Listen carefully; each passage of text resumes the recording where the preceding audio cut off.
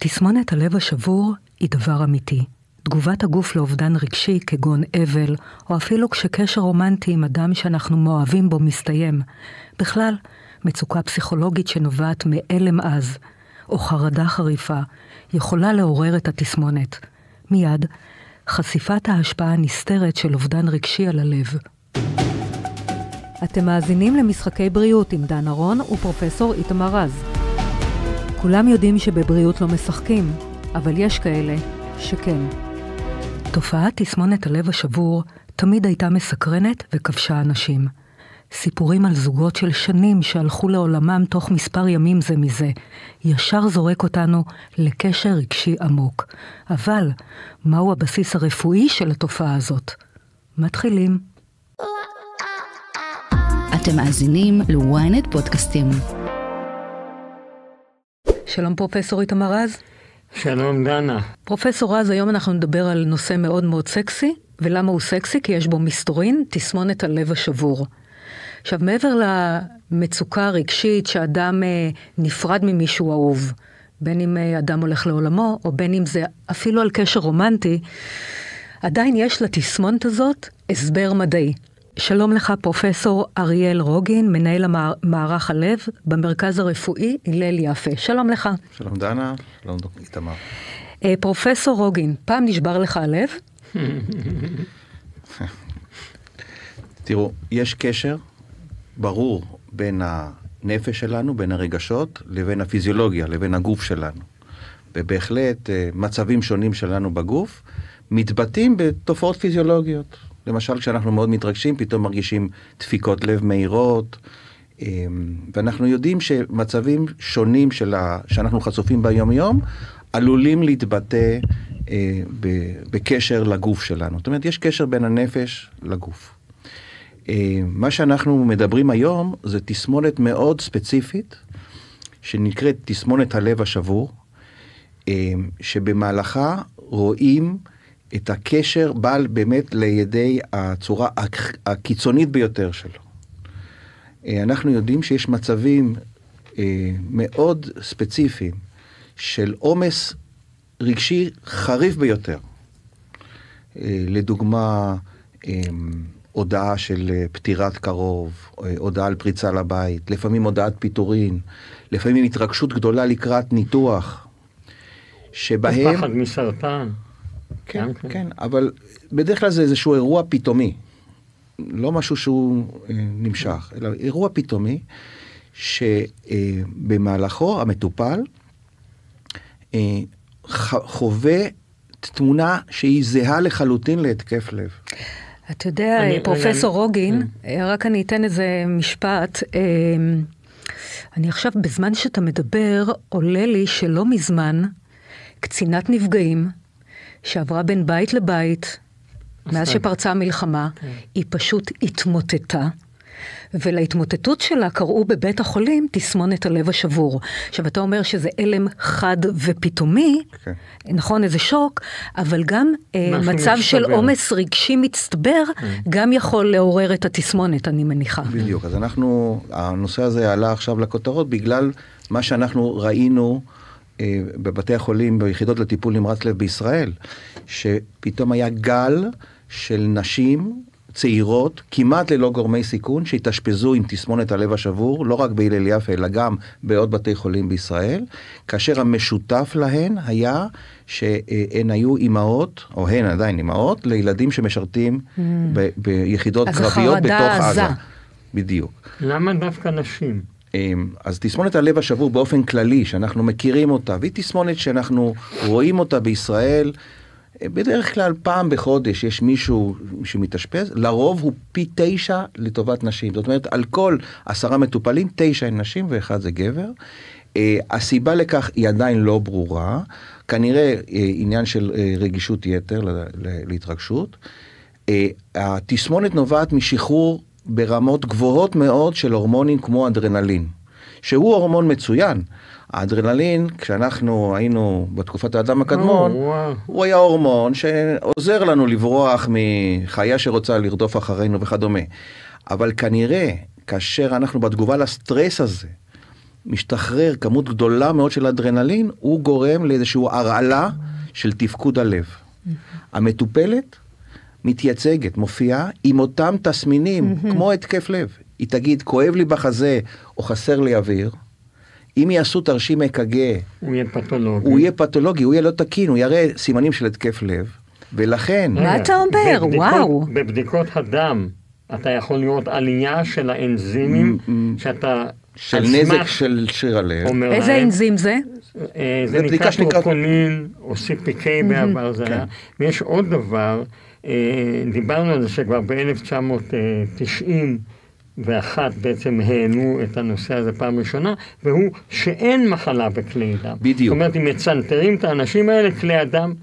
אז זהו, אבל זה בניגוד למה שפרופסור רוגין אמר, שרואים ממש אה, הפרעות בתפקוד הלב. אה, נכון. כדי אני להגדיר. בהלם מזה, כי נניח בהתקף חרדה, אתה מרגיש כמו התקף לב, לא, אבל. אבל הלב הוא תקין. אבל המחלה פה היא כן. פגיעה בשריר הלב. יש פגיעה משמעותית בשריר הלב, בחלקו התחתון בעיקר, ולכן זה נקרא קרדיומיופתיה, זאת אומרת פגיעה בלב, זה ש... בשריר של הלב, שכתוצאה ממנה עולים האנזימים, וכתוצאה ממנה גם רואים אי ספיקת הלב, זאת אומרת, כן. זה לא נפוץ, אבל אני יודע שיכולה להיות גם אי ספיקת הלב, זאת אומרת, אתה ממש יורד ביכולת התפקוד של הלב עד כדי הצטברות של נוזמים. אני רוצה להגדיר את ה... בבקשה. איך, איך מגדירים אותה? התסמונת מוגדרת על ידי כך שיש פגיעה בתפקוד של שריר הלב, אבל עורקי הלב שמספקים את הדם ללב הם תקינים לגמרי. זאת אומרת זה תנאי. וואו. וזה נובע לא כי אחד העורקים נסתם כמו שקורה בהתקף כן, לב, שזה אוקיי. נגרם מטרשת עורקים, שזה נגרם מהגורמי סיכון כמו מישהו שמעשן או סוכרת וכולי וכולי, אלא פה יש לנו מצב שבתגובה לסטרס גדול, התמונה היא קלינית כמו התקף לב עם שינויים באק"ג, ולכן כשמגיעים לבית המטופלת או, או, או, או למיון, אומרים יש פה התקף לב, עושים צנתור דחוף, ובצנתור רואים הכל תקין. עורקים תקינים, ואז עושים הזרקה לתוך החלל של חדר שמאל עם חומר ניגוד, ורואים תמונה מאוד טיפוסית שמראה שיש הפרעה בהתכווצות של שריר הלב. אחרי שבוע בערך, שבועיים, הרוב מבריאים. כן. אז, אז מאוד זהו, חשוב, לשאול, מאוד חשוב בדיוק. הנקודה. כן. באופן טיפוסי מופיע בן אדם שהוא היה עם תגובה גדולה מאוד לסטרס קיצוני.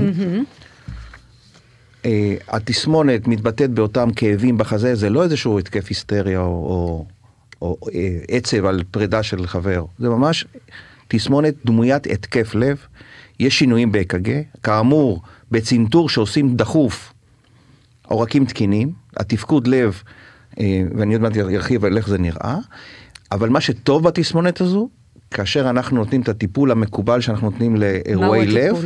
כמו בהתקף לב? דומה מאוד, דומה מאוד מבחינת תרופות כמו אייס איניביטור, תרופות כגון אייס איניביטור, כן. משפחת האייס איניביטור ומשפחת החוסמי בטא. אה, התפקוד הלב משתפר והופך לנורמה לגמרי ולא יודעים בכלל שהיה אירוע כזה כעבור מספר שבועות. לא הייתי אומר שבועיים אבל בין ארבעה לשישה האם שבועות. ממשיכים את הטיפול הזה בול. לחצי שנה? זה מה שרציתי לא, לשאול. לא בהכרח, כי כשהתפקוד הלב חוזר, אפשר להפסיק את הטיפול הזה לחלוטין. עכשיו, מאוד מעניין, כן. אמרתי שבהזרקה לחדר שמאל בחדר צנתורים יש תמונה מאוד טיפוסית. כשהתסמונת תוארה, ראש- תוארה לראשונה ביפן, הם הסתכלו על התמונה הזאת, וההתכווצות הזכירה להם איזושהי תמונה של כד, שמשמש ביפן לציד של תמנונים, לדייג של תמנונים, יותר נכון להגיד, והכד, השם שלו ב- ביפנית הוא טאקצובו. והתסמונת הפכה להיות מוכרת בעולם כטאקצובו סינדרום. Mm, על שם אותו כד שמשמש כאמור לדייג של תמנונים. אני רוצה לדעת, פרופסור הוגין, האם בהתקף לב, אם יש לי התקף לב אחד, אני נכנסת תחת קטגוריה שפוטנציאלית לפתח עוד התקף לב? זו, קודם כל זו שאלה אחת. ואם כן, האם אני אה, חווה תסמונת הלב השבור ואני מבריאה ממנה, אם החיים יזמנו לי הלם רציני, האם עוד פעם אני, כאילו, אני פוטנציאלית ליפול אוקיי. לאותה תסמונת? דנה, השאלה שלך כן. מצוינת. אנחנו יודעים בהחלט שכשיש למישהו אירוע לב, התקף לב, אז יש לו יותר סיכון. לגבי תסמונת הלב השבור, כאמור מדובר בתסמונת נדירה ביותר. נכון, אפשר... אמרנו שבכל מחלקה בישראל יש כעשרה מקרים כאלה, עשרה נשים, עשר נשים, בשנה. בשנה. ולכן קשה לנו להגיד האם יש סיכון יתר. אנחנו בדרך כלל, מהניסיון שלי אישית, של טיפול במטופלות כאלה כבר 15 שנה, לא ראיתי מישהי שחזרה פעמיים, אבל זה לא אומר שאין את זה, בסדר? שיש נטייה לזה. כן, עכשיו, אוקיי. בכל- למרות שהיא נדירה. כן, בכל פעם שאני אה, נותן הרצאה על הנושא או מדבר, מאוד חשוב, ומאזינים לנו אה, אנשים, שאם יש חשד, במיוחד גם בקרב נשים, ששם התסמונת הכלילית של עורקי הלב היא, היא פחות טיפוסית, אם יש איזשהו ספק, אין ספק. מה אנחנו- מרגישים בעצם? בוא אנחנו- נתחיל עם הסימפטומים. מה לרוב מרגישים בתסמונת הזאת? משהו שהוא שונה. בדרך כלל זה יתבטא בפתאום חסר אוויר, נשמת, כאבים בחזה לפעמים. וכאבים בחזה. כאבים בחזה או מין לחץ אז ב... אני- יש נשים שיתארו את זה כמועקה, יש נשים שיתארו את זה כדקירות לא ברורות, ו- ויש נשים שיגידו דווקא כואב לי השכמות והגב, דברים שהם לא הטיפוסיים. מה עם הדופק? הדופק הרבה פעמים מהיר, מכיוון שיש ירידה בהתכווצות של שריר הלב, הגוף, ואדרנלין גבוה. ואדרנלין גבוה, הגוף כדי לספק את הדרישה, הוא יעשה דופק מהיר יותר. כשאני נכנסת לכזה אה, תהליך של הגוף, האם יש דרך לעצור את זה?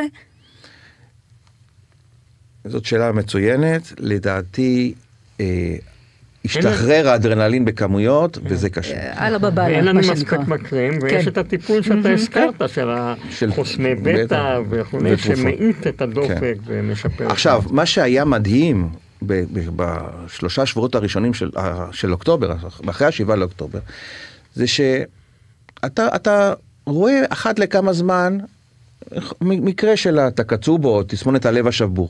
מגיעה אישה, מצנתרים אותה, מזהים את התסמונת הלב השבור, וכשאתה עושה אה, שיחה איתה, מה שנקרא אנמנזה, מסתבר שהבן שלה משרת במגלן.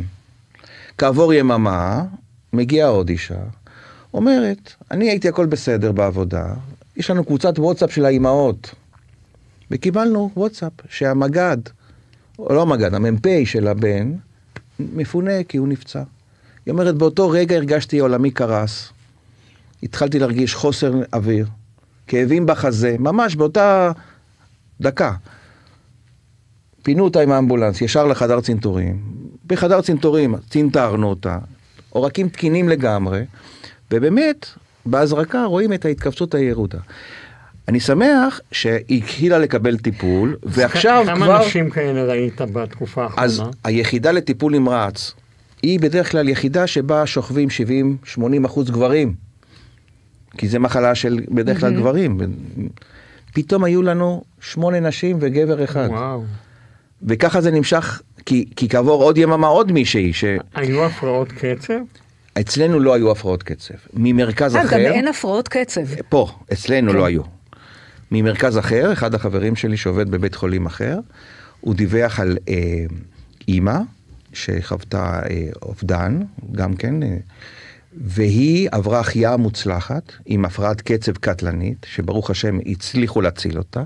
וזה לא? התקף לב, אלא תסמונת הלב השבור. כן, כן, כן. וכשצנתרו אותה, הצוות שנקרא באמצע הלילה, הוא מדגים שהעורקים תקינים לגמרי, למרות שהיא עברה החייאה, ובתפקוד הלב רואים את ההפרעה הקשה. אז יש לי. שני דברים. אחד, אה, אק"ג, הרי מגיע טיפול נמרץ, כן. עושים לך אק"ג, האק"ג הוא תקין? לא, ה- לא, לא לא. תקין. לא תקין. לא תקין, לא תקין. ואז מפנים אותך לבית חולים. אוקיי, לא, אז זה הזיהוי. ה-AKG לא תקין. תקין. בבית חולים עושים לך בדיקות של האנזימים, הם עולים, זה מתאים ממש בול לאוטם. להתקף לב, כן. אבל הצנתור, צנתור, ופה נכון. רואים, אה. במקרים. במקרים של, אה, אה, וזה חשוב מאוד להדגיש לקהל, כן. אם מישהי מרגישה לא טוב וקוראת לאמבולנס ועושים אק"ג ויש עליות ST באק"ג, הסימנים של תמונה התקף של לב, אוטם לב. היום בישראל כל האמבולנסים מתקשרים ישירות לטיפולי נמרץ לב, אומרים יש לנו חולה עם התקף לב, וישר מריצים אותה לחדרי הצנתורים, בלי קשר לשום דבר. כן. אמ, זה באוטומט, עבודה שאנחנו עשינו בהלל כן. יפה, עבודה מאוד מעניינת על ההבדל בין גברים לנשים.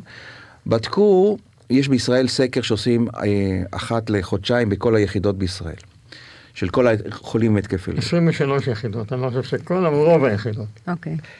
ובדקו מה קורה, מה התחזית, מה הפרוגנוזה של אנשים לפי צורת ההגעה שלהם. כן. אה, ושמו לב שאם אה, גברים או נשים קוראים למגן דוד אדום לבוא הביתה, הפרוגנוזה מצוינת בשתי הדרכים. אם הם אה, אה, הגיעו באמבולנס אה, אה, למיון, אותה פרוגנוזה. אבל אם הם מה שנקרא walk in, הגיעו בעצמן כן, עם הרכב שלהן כן. למיון, הפרוגנוזה, התחזית של הגברים הרבה יותר טובה משל הנשים. התמותה אצל נשים היא, פח, היא פשוט פי שתיים או שלוש. ולמה זה? למה? כי מעניין. נשים, כשיש להם אירוע לב, mm-hmm. הן אומרות, כנראה אכלתי משהו לא טוב. נכון. אה, יש לי סתם בחילה, או ויעבור עד הבוקר. או התקף חרדה, עולה לי, היי, אני בהתקף חרדה, תנשמי עמוק. לעומת זאת, כאשר יש גבר, אז הוא ישר חושב שהוא, כמו שבבדיחות, אה, פתיחה של אה, בהיריון או משהו כזה, וישר רץ. או שיש מישהי שדואגת לו. נכון, אשתו. כן. ואומרת לו, אתה לא הולך לישון, אתה הולך עכשיו לבית חולים, ולכן הפרוגנוזה הזאת. זאת אומרת, מה המסר?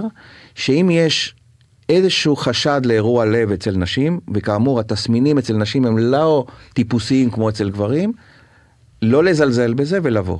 אנחנו יצאנו לפני כחודש וחצי במסע של הרצאות לקהל הרחב, והיה מאוד מרגש לשמוע מישהי שאומרת, פרופסור רוגין, אני הייתי בהרצאה שלך לפני שבועיים, ואתה הסברת לנו לא לזלזל, ובזכות זה שאתה אמרת לא לזלזל, קראתי למגן דוד אדום, לא באתי מאוטו, ועשו לי את קגה, וראו לי התקף נכון, לב, וטיפלו בי. נכון, זה מה שרציתי להגיד, שאנשים את קגה במגן דוד, ואז אפשר לחשוב אם צריך לפנות כן, את האישה. ומפגש אחר היה בפרדס חנה, שבאה אישה ואומרת, אני הבאתי פה את כל השש בנות החברות שלי, כולן ככה בנות 75-80, אה, ולצערנו, אחת הבנות איתנו לא נמצאת, כי היא בדיוק כמו שאתה מתאר. היא הלכה לישון עם איזה שהם כאבי בטן, וקצת לא נעים, ובלילה אה, קרתה לה כנראה הפרעת קצב קטלנית, והיא לא נכון. קמה. זאת אומרת, אבל מה שעולה מדבריך... זה קורה גם בגברים. בוודאי. אני בטוח שאתה רואה את זה. כן. למשל צרבת, הרבה נכון. פעמים גברים מתלוננים על צרבת. כן. ואומרים, טוב, נחכה למחר, חלקם לא מגיעים למחר. אבל על צרבת אנחנו נפנה למיון? לא, גם אי אפשר לא, להיות היפוכונדרים, אתה לא, מבין? לא, איפה לא, הגבול? לא, תראי, כן. אם יש לך צרבת באופן קבוע, בסדר, לא, אבל גם אם... אבל אם פתאום אתה מרגיש צרבת, או אפילו כאב, מועקה, כל דבר, אתה צריך לזכור שיש סיכוי שאתה מפתח אה, התקף לב. כן. ומה שמאוד חשוב, דנה, כן. כשיש בעיות בלב, הן קשורות למאמץ. זאת אומרת, כשאנחנו עושים הליכה או עליית מדרגות, הלב... אנחנו מרגישים הידרדרות. הלב עובד כן. יותר, צריך לעבוד יותר, ואז אם יש תסמין שקשור ללב, זה יתגבר. ובתסמונת הלב השבור? תסמונת הלב השבור, שזה מחכה אחד לאחד התקף לב, אי אפשר לדעת. אה. ולכן בעצם לא מזלזלים, קוראים לעזרה ראשונה, עושים אק"ג, מצנתרים את כל האנשים האלה, וברוך השם, החדשות הן טובות, כי תחשבו, אישה מגיעה לחדר צנתורים עם כל החרדה ועם כל האורות וכל זה. והאק"ג לא תקין, והאנזים לא תקין. ואמרו לך, גברת, יש לך כן, התקף לב. נכון. למרות שהיא יודעת, אה, כרגע הודיעו לי שפרצו לי לבית. כן. או... קרה משהו דרמטי. או קרה כן. לי משהו דרמטי. ו- ופתאום רואים שברוך השם הכל בסדר. ושבועיים אחר כך היא מבריאה. כן, ולסיום אני רוצה לדעת, מעניין אותי מאוד, מ-7 לאוקטובר הגיעו נשים רבות עם, רבות, הגיעו יותר נשים עם תסמונת הלב השבור, לרוב מה הייתה הסיבה? אה, בן משפחה, בן או בעל בעזה? חד משמעית. בנים, זאת אומרת, זו הסיבה בנים לא, המרכזית. לא, לא היו בעלים. או אובדן. כן. הבנים, אה, הבנים. הבעלים לא מעניין אותנו. לא, הבעלים זה פחות. תראי, ב... לא, איך אומרים, ב... ב... לא, לא בסדרה שלנו, כן. אה, אה, זה כולם נשים צעירות, בנות 45 עד 55, ללא גורמי סיכון, ואתה מבין אותם. עכשיו שואלים אותי, אה, שנודיע לבן, שכאילו נמצא כן. שם, ש... לא, לא, שלא ידאג. שלא ידאג. שהבן ברור, לא ידאג. כאלה אנחנו, אמהות קודם כל, שלבן שלנו טוב, לנו טוב. הבן לא דואג, כן. אנחנו מתאוששות. תודה רבה לך, פרופסור אריאל רוגין, היה מאוד מאוד מעניין. תודה רבה לך, פרופסור איתמר רז. ואנחנו נודה גם לצוות שלנו, לבמאי גידי ישראלי, לעורכת טל לוין, למפיקה ניצן כהן. ולאיש הסאונד ניסו עזרן. תודה רבה לכם, ושנהיה רק בריאים, אמן. תודה רבה. תודה רבה, דנה. תודה רבה, פרופסור. תודה שהאזנתם למשחקי בריאות. מדי שבוע מחכים לכם שלושה פרקים חדשים בוויינט, ואתם מוזמנים ומוזמנות לעקוב אחרינו, לקבל התראות לפני כולם, בספוטיפיי, באפל ובכל אפליקציות הפודקאסטים. ואם אתם כבר שם, נשמח אם גם תדרגו אותנו. נתראה בפודקאסט הבא.